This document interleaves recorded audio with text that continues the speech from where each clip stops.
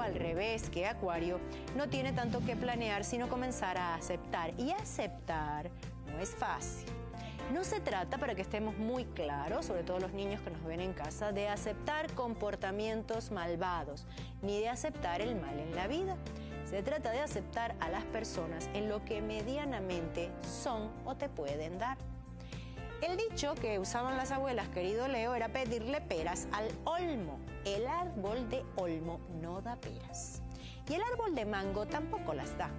Cada uno de nosotros es un árbol frutal y dará los frutos según su esencia, su especie y su naturaleza. Leo, que la luz de este eclipse te lleve a comprender cómo es cada persona para así comenzar a trabajar la aceptación. Para que sufras bastante menos y te sientas mucho más iluminado y no dejes que las sombras de las limitaciones ajenas oscurezcan tu panorama si naciste bajo el signo de Leo. El eclipse es una energía que oscurece y vuelve a resplandecer.